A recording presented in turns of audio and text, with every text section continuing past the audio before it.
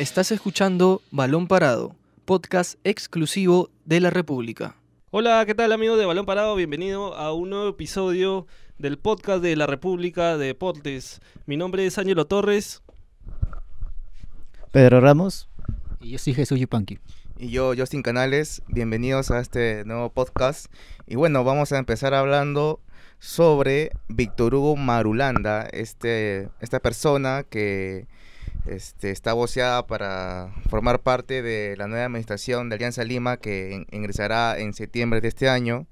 Eh, él tuvo la oportunidad de jugar en este en el club blanqueazul en el año 97 y fue campeón incluso y ahora podría estar a cargo de la gerencia con el fondo blanqueazul que ha pagado qué cantidad este Ángelo? ¿Tú tienes ha ahí el dato? 23.8 millones de soles a la SUNAT y con eso se ha convertido, digamos, en el máximo, bueno, ya no, es acreedor, sino que han comprado sus acreencias y ahora pasan a administrar el club este íntimo que empezarían en realidad ya, como, como tú decías, en septiembre, entrarían y van a tomar seguro varias decisiones, van a eh, presentar bastantes cambios, eh, lo del técnico no está definido, por lo menos por ahora no se piensa en cambiar a Pablo Bengoechea, a pesar de que por ahí habían algunos rumores que, que decían que, que se podría ir, pero no tiene sentido en pleno campeonato ni nada, ¿no? Así que lo más probable es que en realidad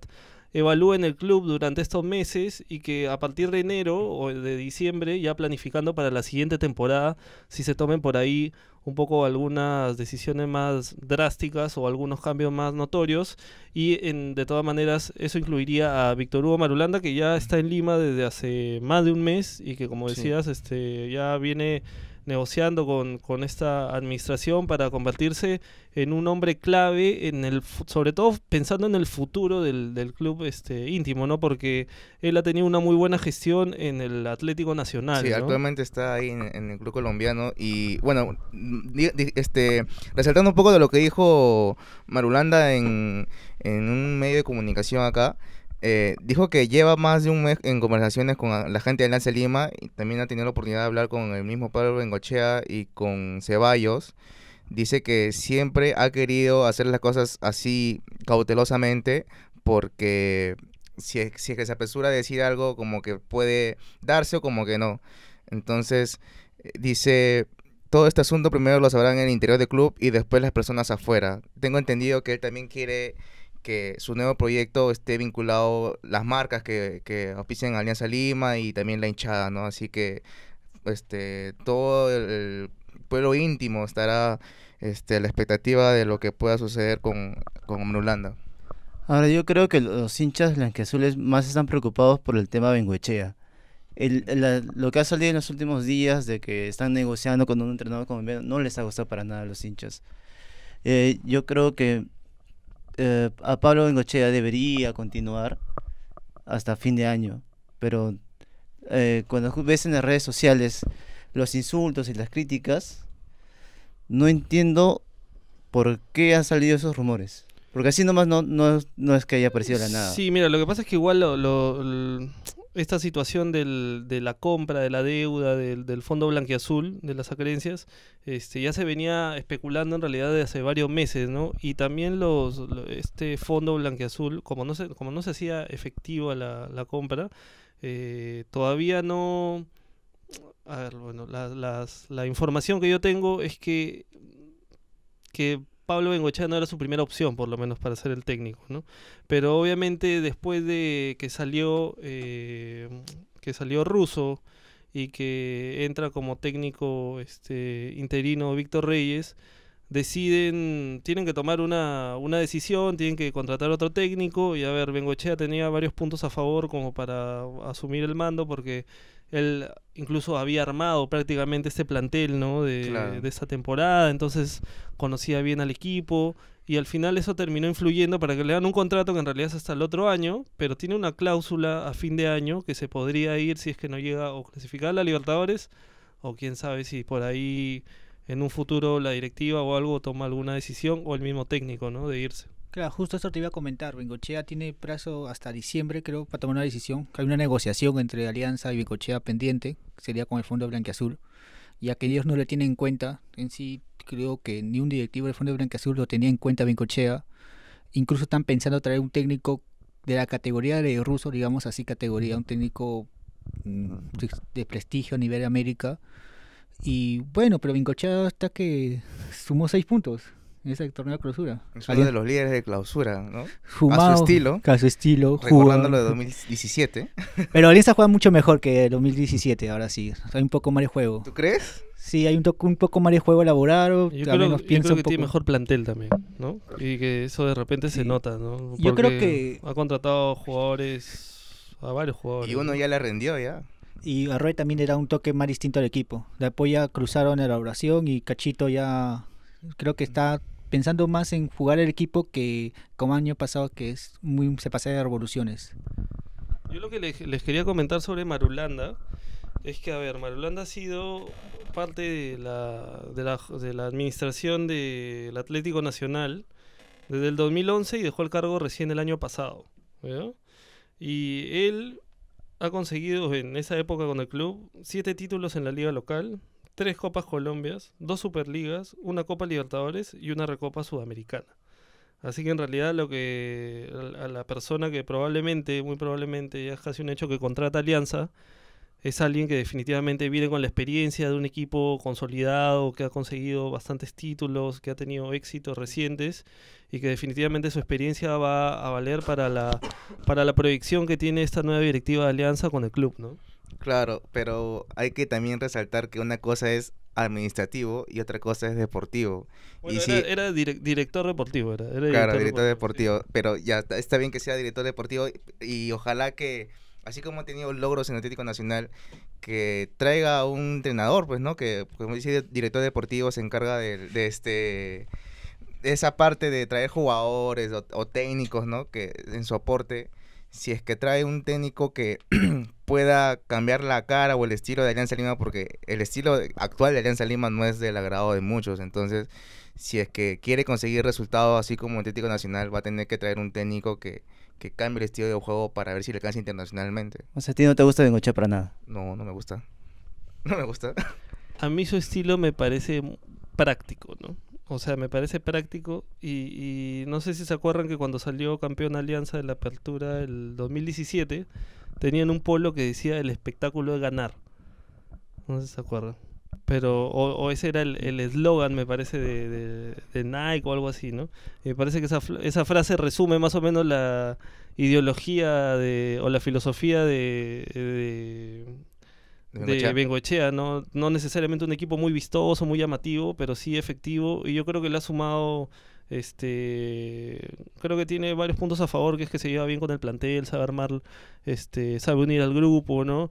Y eso acá en, un- en el Perú, que tiene una idiosincrasia en realidad bastante especial, por, como sabrán, Alianza tiene un camarín complicado también, le pasó a Russo. Y este ya tenía experiencia acá, ¿no? Que era un punto a favor de, de. Claro, el caso, el caso de Russo sí ha dejado muchas lecciones, porque es, es- era un entrenador campeón de América que solamente duró cuatro meses en el cargo. Venía con todos los pergaminos, la gente se ilusionó, pensó que Alianza iba a volver a, jugar su estilo, y al final ni Russo ni el equipo se lograron entender y llevaron a sí, y llevaron un este fracaso, porque lo, que que- quiere evitar la dirigencia es que tapar ese fracaso que para mí. en cuenta que Russo también vino con una idea mm, no tan al fondo de lo que significa el fútbol peruano tal y Alianza Lima como tal. Creo que Russo se dejó llevar porque Perú clasificó al mundial, Perú era un, digamos, selección peruana, era algo y dijo, bueno, Perú está creciendo, se puede ser, ¿no? Y aparte Russo no encontró los jugadores que él pidió. Él pidió unos cuantos jugadores y nunca le trajeron esos jugadores. Claro, vino acá al Perú con una idea de, lo que tú dices, ¿no? De la selección y se encontró con una realidad distinta y los jugadores no lo apoyaron. Y incluso sus palabras mismas hacían que los jugadores no... no Tu- tuvo, No. tuvo algunos, algunas frases desafortunadas, sí, ¿no? tuvo frases desafortunadas. que eso y los hizo propios que no- jugadores lo han resaltado también. Que eso hizo que no conecte, ¿no? Con, con el grupo. Y eso en realidad al final, cuando tú trabajas con, con, con personas, es bien importante cómo mantienes el grupo, ¿no? Qué tan unidos están, o no, más en un equipo de fútbol, ¿no? Así que, Claro, un técnico tiene que potenciarlos. sí. Sí, chicos, a más bien vamos a cambiar. Ahora vamos al rival que tiene de siempre de, de Alianza Lima a Universitario. donde Ángel Comiso, después de este cambio de, de administración, o bueno, que por lo menos ha sido ya nombrada nuevamente la administración de Universitario Solución y Desarrollo, de, que está comandada por los hermanos Leguía, habían rumores de que el técnico argentino podría podía dejar el, el cargo, ¿no? Porque había tenido algunas diferencias con algunas personas vinculadas a esta dirigencia.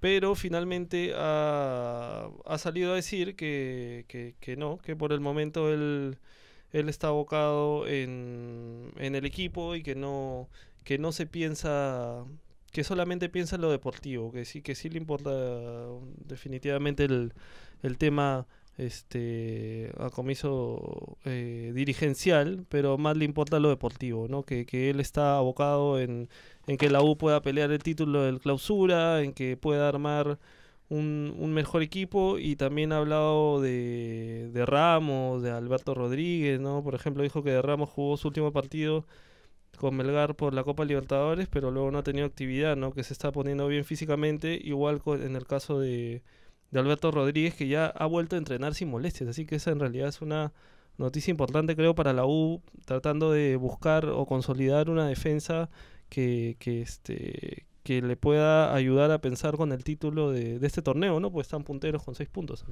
Pero hay otra, otra noticia más importante, creo yo, que es el tema de Denis. Ayer salió lo de Denis en las redes sociales de que podría irse a Newson Boys. Y para mí, si se va Denis, sería la gran baja en Universitario de Deportes. Porque en, en este periodo de fichajes no contrataron a ningún delantero. No, es verdad. Es más, el, si se dan cuenta, Antonio Osorio no lo utiliza mucho como nueve, sino más por un costado. Incluso ahora justo este está pensando Comiso en Janos Osorio más bien como, como Claro. posible, o si no está Hover ahí, ¿no? Pero eh, igual no es un 9-9 o un referente como Denis, ¿no? Que igual ya tiene 10 goles en el año, este viene en una buena racha y es un jugador de experiencia, ¿no? Claro, aparte por lo que significa Denis para una táctica. Si te das cuenta, Denis es un clásico 9 que está en el área. Denis sale, sale del área. Toca, se sabe aso- asociar, deja el espacio para que Hover o Quintero ocupe el- posición de 9. Se sabe mover por los espacios, aguanta el balón, eh, manda el equipo. O sea, Denis es una parte fundamental para este plantel de la U. Y, pero estos rumores, hasta donde sabemos, son simplemente rumores. No es nada una oferta oficial, ya que Denis tiene contrato con la U hasta diciembre. Y por lo que sé, del contrato de Denis no hay cláusula de salida.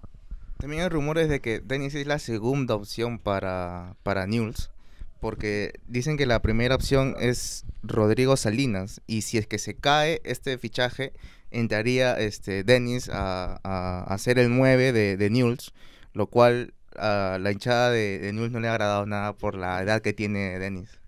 Claro. Y aparte y- que, bueno, tiene experiencia de jugar este, en Argentina porque Sí, está independiente, pero la edad es un problema para él, según los hinchas de Newell's. Sí, aparte que en la, o sea, en la última etapa que tuvo en Independiente no le fue muy bien tampoco, ¿no? Antes de venir a, a la U, hizo, sí, tuvo, me parece, un gol en, en varios meses. Y, y llegó, incluso cuando llegó acá, llegó bastante gente fue escéptica, ¿no? Sobre su rendimiento, por el tema de la edad, ¿no? Pero finalmente ha conectado bien, es un jugador que, o sea, tácticamente es muy bueno, creo, ¿no? Aparte que tantos años en Europa, la experiencia, yo creo que ha sido un aporte bien importante para, para la U y para lo que, no sé si esta ya sea su última temporada, si se va a retirar acá, si se va a retirar en la U, pero, pero lo que transmite Denis definitivamente al plantel fuera del fuera de lo futbolístico también es importante, ¿no? Porque es un jugador con un recorrido este bastante llamativo, ¿no? Y pienso que los hinchas de la U se siguen pensando por qué Comiso no ha conseguido un reemplazo para, para Denis. Porque es el único atacante de área que, que tiene. Sí, claro, y si se te lesiona, vas a tener que apelar un plan B, ¿no? Que, que ahorita en este momento por lo menos no lo tiene muy claro. Y, y en algún momento ya probaron a Córdoba, ¿no? Sobre todo lo probó a Hover como 9. Y Hover es un jugador bien es de diferentes características, ¿no? Te obliga a replantear el cómo juega todo tu equipo, a este a buscar ya no puedes tirar muchos centros, sino más este jugadas por por bajo, asociadas, tratar de aprovechar su velocidad, ¿no, Jesús? Sí, pero es que si nos comienzo de 2013, Ruiz Díaz tampoco era un clásico 9 del área, es un 9 que le gusta asociarse y algo que Hover también puede cumplir esa función. Incluso Quintero. Y bueno, Comiso también mencionó, menci- mencionó a Antonio Osorio y Janos Osorio. Janos Osorio es un 9, pero es muy joven. Y Antonio Osorio es un 9, pero es delantero, pero creo que Córdoba lo, lo- le cambió el chi, juega mucho por la volante, se desespera mucho. Y o la juega. Con la jugada no lo veo de 9. O las jugadas también lo han traído para que juegue por un costado, ¿no? Igual está Gerson Barreto, ¿no? Que también Creo juega en que la el volante, único pero, que podría ocupar posición de 9 como tal sería Henry Vaca. pero Porque- Vaca es un enganche. ¿ah? Sí, es más. Y aparte, 10. y aparte Tiene- está el tema ha de- demostrado que tiene ese pase gol que necesita y es los más, delanteros es de la más- U. un poco más pequeño que joven incluso. Sí, creo que es por ahí el tamaño. Yo creo que él necesita espacio justo para desequilibrar, ¿no? Este, porque porque se lo vio es rápido, es veloz, es este quimboso, pero pero necesita espacio. O sea, yo Sí. creo que si es el último, el que tiene que recibir el pase, no, no, no lo veo mucho ahí, ¿no? Claro. Ese es el, ese es el tema. Pero justo de Vaca, ¿qué, qué, qué piensan de Vaca? ¿Le gustaron sus, su media hora de juego, su pase gol? ¿Cómo lo vieron contra Pirata? Yo creo que fue el- casi casi un debut soñado, si es que él lograba marcar esos do- dos goles, o esas dos ocasiones que tuvo frente al arco de, de Piratas, ¿no? Este, todos los, los hinchas universitarios se emocionaron, y más aún, él mismo quiere quitarse ese apelativo del Messi boliviano. Creo que es hemos... exagerado. Sí, sí, exagerado. exactamente. Hay que ser realistas que es demasiado exagerado. Eh, Creo que a ningún futbolista le gustaría que lo, que lo comparen con Lionel Messi. ¿no? O sea, cuando vino Guastavino también decían que Guastavino era el Messi de no sé qué, en qué liga jugaba de Noruega, no sé dónde. O sea, Messi hay uno solo, es imposible, ¿no? Pero creo que también ha hecho bien Vaca en tratar de deslindar, ¿no? Un poco de que no lo comparen porque porque este hay que ver cómo le va a Vaca también porque en Bolivia él tuvo algunos problemas de disciplina y todo este tema, ¿no? Así que hay que ver si es que no tiene por ahí algún, no sé, desliz este disciplinario aunque Comiso justo tiene mano dura, ¿no? Así que a ver si es que lo puede, si es que lo puede formar. Yo creo que igualito que tenga una oportunidad en el extranjero a su corta edad, porque tiene 21 años, es también te, te ayuda a, saber que te tienen en cuenta, ¿no? Claro, eh, lo que dicen ustedes, ¿no? Es, es, es recontra exagerado lo que dicen los medios en, en este resaltarlo como el Messi boliviano, ¿no? Cuando es solamente un partido, o sea, muchachos, hay que hay que verlo todavía. lo que resta de Ni clausura. siquiera es un partido, es media hora o 25 Claro, minutos que ha ni jugado, no es un partido partido completo. completo. Pero, o- O o- sea- claro, o sea, ha mostrado en, en el partido, en esos pocos minutos, ha mostrado que sí tiene sus, sus cualidades al momento de, de enganchar, ¿no? De, Claro. de dar pase, como fue su, su asistencia en su primer toque. Por lo menos va, va a sumar en la U. ¿ah? Te da un toque Sí, distinto al, ataque, al ataque que tiene la U los jugadores. Ajá, es un jugador Claro, es un distinto jugador que- que no tiene la U. Porque Hover, que, ah, Kobe y Quintero son quimbosos, pero no, no, no tienen ese amague tanto para adelante. Y la Bandeira es un jugador sacrificio, que da, creo que para mí es el mejor jugador de la U en, en, en la, en la temporada. Pero está lesionado la, la claro, bandera. pero la Bandeira cuando estuvo en cancha, Ah, era- claro. era el Se ponía el, el hombro, el equipo al porque la hombro. Bandeira te corría los tres últimos cuartos de cancha por atacar y por defender, y te daba el, el toque, jugaba de 10, te jugaba de volante. Para mí la Bandeira creo que fue, fue- es uno de los mejores jugadores de la U en la temporada. Pero es, Vaca te da un, un toque distinto al ataque de la U que tiene. Al menos eso es lo que da. Todavía falta minutos, hay que verlo con un equipo que se cierra atrás, porque eh, Piratas también fue un- digamos que su defensa no fue muy recia con él, jugó espacios y fue un El- jugador en el gol de Denis se nota que Vaca tuvo muchos espacios. Sí, ¿ah? pero meter ese pase. Porque un- avanzó solo, nadie lo presionó, avanzó pero meter ese diagonal. pase y- también no es tan sencillo. ¿Tú Bien. crees que no es tan sencillo? Bueno, yo, venía diciendo- yo lo venía diciendo toda la semana.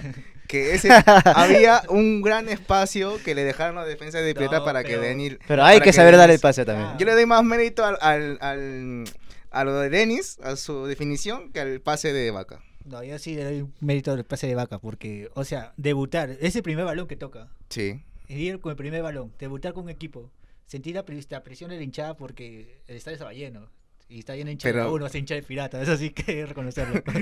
Ya. Sentir esa presión. Y aparte, que sabes que un jugador viene, viene con las ganas de mostrarse, ¿no? Viene con las ganas de, de primer balón, de que la hinchada se ponga de pie y la aplaude.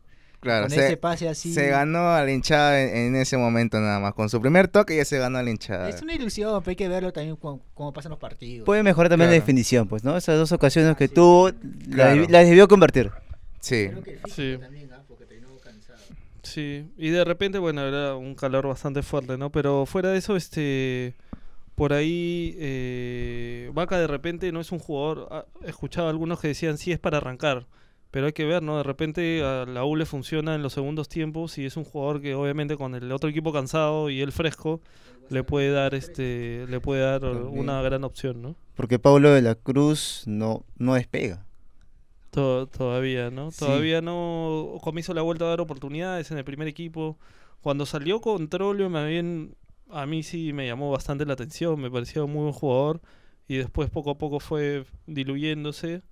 Y ahora ha regresado, pero todavía no llega a, a, este. a- casi mete un gol, ¿no? Contra Pirata, pero igual todavía no llega a, a exponer el potencial que tiene, por lo menos, ¿no? Que, que, o, que los, o que los entrenadores este, le han visto, ¿no? Otra de las secciones también la U es Cari Correa. Lamentablemente Sí, no, ha una muy funcionado. No ha tenido una No temporada. una muy buena temporada. En cambio de Rafael Guarrera, ¿no? que ha sido en estos partidos ha, ha demostrado que, que ha madurado afuera de la U, que ha crecido y que es un jugador bastante inteligente, no sabe leer el juego, no es muy rápido, no es muy alto, o sea, no- alguno puede decir no destaca en no destaca en, en algunas cosas, pero sí es un jugador parejito, ¿no? O sea, parejito y muy inteligente. Yo lo que destaco, lo que destaco de él es que entiende muy bien el juego, ¿no? Entiende lo que quiere este Comiso también, porque Comiso lo trajo a él. O sea, cada, cada técnico tiene su jugador favorito. Yo creo que, el jugador favorito de Comiso es Guarderas. Y Guarderas tuvo buen nivel en el 2013, lo demostró. Y, este, y ahora lo está volviendo a demostrar. Entonces creo que Guarderas ha ganado un lugar ahí en, la volante y cuando regrese con la bandera, bueno, va a ser una gran dupla. Sí, sí, sí. Así que chicos, este, este ha sido el podcast de hoy de, de Balón Parado y seguro mañana nos van a poder seguir escuchando con otros temas del fútbol nacional e internacional y de repente también un poco de los panamericanos, ¿no? Hoy día lamentablemente las chicas y los chicos en y playa no les fue muy bien y, y han perdido sus, par- sus respectivos partidos y también eh, no nos ha ido bien en, en la mañana en squash, ¿no? Así que esperamos que, que- que tener algunos mejores resultados, estoy seguro que lo vamos a tener. Y, y seguro ya nos, nos están escuchando. Así que mi nombre es Ángelo Torres Justin Canales. Pedro Ramos. Y Jesús Yupanqui. y esto ha sido todo hoy. Gracias, chao. Esto fue Balón Parado, podcast exclusivo de la República.